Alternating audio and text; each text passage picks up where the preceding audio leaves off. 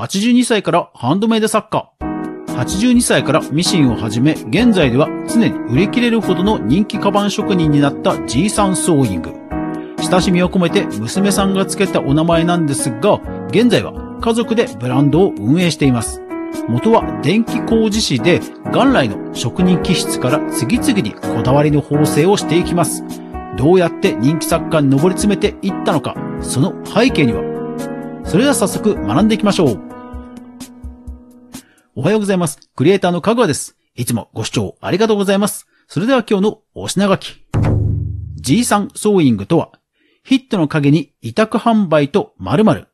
圧倒的商品力がヒットの秘密です。それでは早速、ツイッターのまとめサイト、トゥゲッターというのがあるんですが、そこの2020年7月28日の記事です。83歳で洋裁を始めたガマ口職人さんの作るバッグがめちゃめちゃ可愛いです。え皆さん G サンソーイングご存知でしょうか ?Amazon で書籍も出されているぐらい、まいわゆるグランドファーザー、グランドマザーインフルエンサーとしてはですね、超有名な G さんさん、G さんさんです。私、存じ上げなかったんですが、もう超人気ブランドになっていて、予約待ちというような感じで、もともとミンネでも売られていたそうなんですが、もうミンネは完全に出品はされておらず、現在、オリジナルの独自サイト、自社サイトで予約のみの販売をしているという人気ブランドになっています。人気商品は真っ赤な椿の大きな柄で、そしてかなり大型のガマ口のバッグなんですね。これがまあ代表作とも言える人気作品になっています。まあそれ以外にですね、トートバッグですとか、あとは子供のお子様リュックですとか、小物のガマ口などを作られています。現在は工場長が G さん、そして専務がばあさん、そして、ホームページ管理人さんが娘のキキさん、そして製造管理がその旦那さん、そしてキキさんの息子さん、娘さん、そしてまあ多くの応援されている家族の方々がいらっしゃるという体制でブランドを運営されています。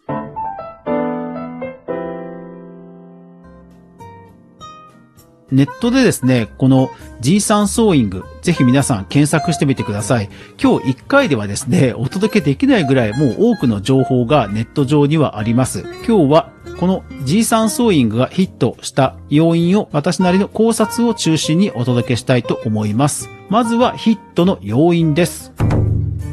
公式ブログによりますと、お孫さんが作られたツイッターがバズったということを書かれています。確かに実際ですね、この G さんが、まあ、ガマ口バッグを持ってですね、作りましたという写真付きの投稿は確かにものすごくインパクトがあって、本当におじいちゃんが上半身タンクトップだけの下着だけの状態で手袋をして大型のガマ口、ガマ口バッグを持っているという姿がですね、まあインパクトがありまして、これがですね、14.6万いいね、そして3.9万リツイートと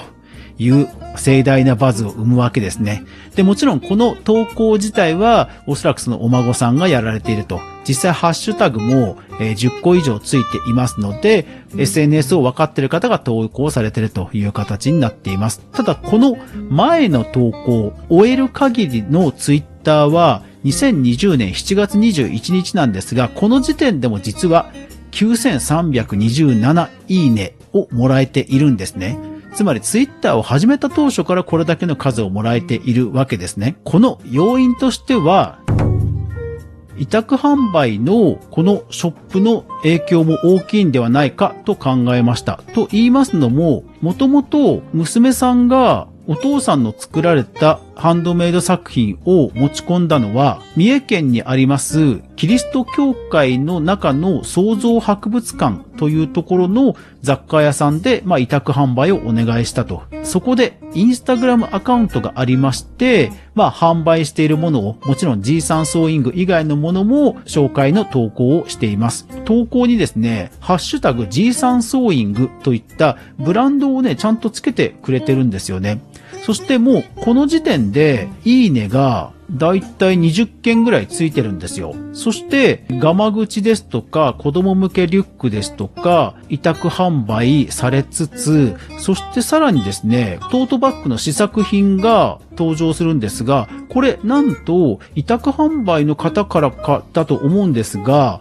かなりですね、こう試作品としてリクエストを出している感じなんですよね。そして、バッグなどにものすごくたくさんのポケットがあって、確かに超便利そうなんですよね。というように、まあ、ユーザーからの声もどんどん取り入れて商品が瞬く間に進化していってるんですね。そして、そんな中、お孫さんが作ったツイッターで壮大なバズを生むと。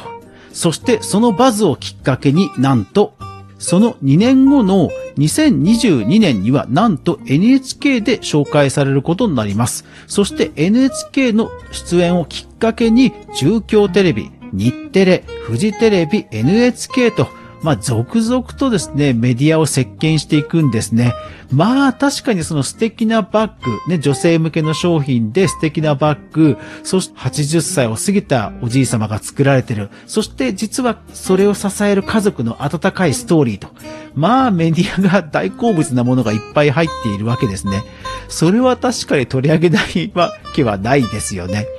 という形で、もう現在では本当にもう予約のみで常に売り切れるというような人気作家になっています。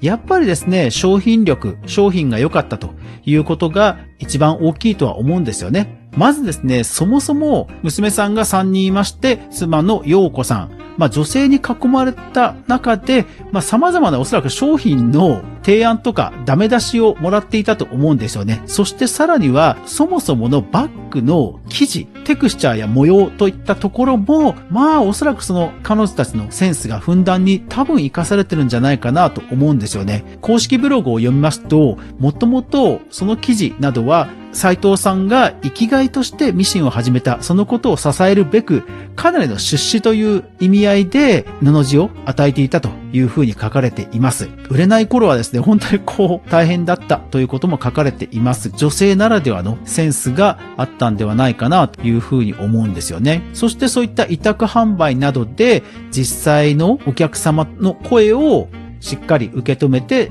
製品にしていくとさらには、ツイッターでこんな投稿もあります。この容量とポケットの多さで税別5000円以下安いな。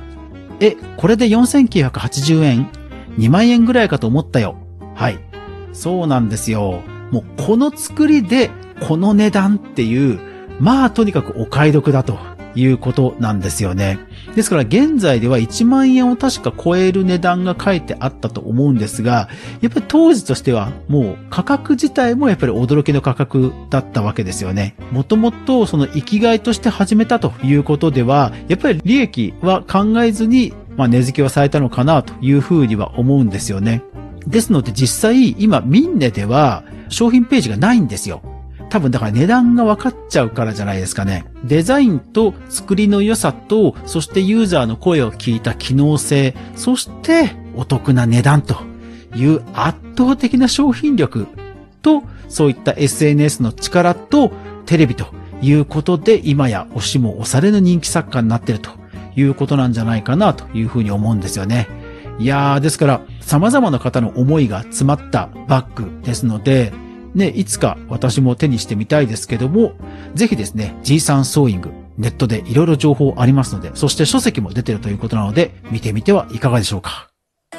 さて、アフタートークです。今日からまたマイクを元のダイナミックマイクに戻しました。やっぱりですね、DR07X 非常に高音質なんですが、電磁波ノイズの影響を本当に受けやすいので、やっぱりちょっと毎回毎回アルミホールを巻くのは辛いなということで、また元のダイナミックマイクに戻しました。いかが聞こえてますでしょうか？いやー、それにしても本当にこういう家族の愛に支えられていて、そしてまあ、元々のこう、職人気質なものづくりへの情熱というものが掛け算になると本当にすごいプロダクトが生まれるんだなと思い知らされました。いやー、素敵な話ですよね。クリエイターエコノミーニュースでは、かぐわが毎日クリエイターエコノミーに関するニュースをブックマークしていく中で、心揺さぶられたものをお届けしています。毎日の収録配信と週に1回の無料のニュースレター2つの媒体で情報発信していますので、ぜひフォロー、登録よろしくお願いします。日本酒の脱菜を今日は飲んだんですが、やっぱり脱菜美味しいですね。いつか高い銘柄の方も飲んでみたいなと思いました。というわけで皆さん、いってらっしゃい